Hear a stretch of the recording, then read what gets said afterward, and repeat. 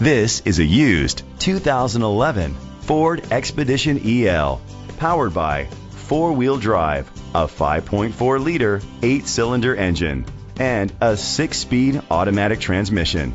The features include leather seats, heated seats, heated rear seats, power folding mirrors, Bluetooth connectivity, Ford Sync voice activation, Sirius XM satellite radio, digital audio input, and auxiliary input, steering wheel controls. Safety was made a priority with these features. A backup camera, fog lights, side airbags, second and third row airbags, rain sensing wipers, independent suspension. Rest easy knowing this vehicle comes with a Carfax Vehicle History Report from Carfax, the most trusted provider of vehicle history information.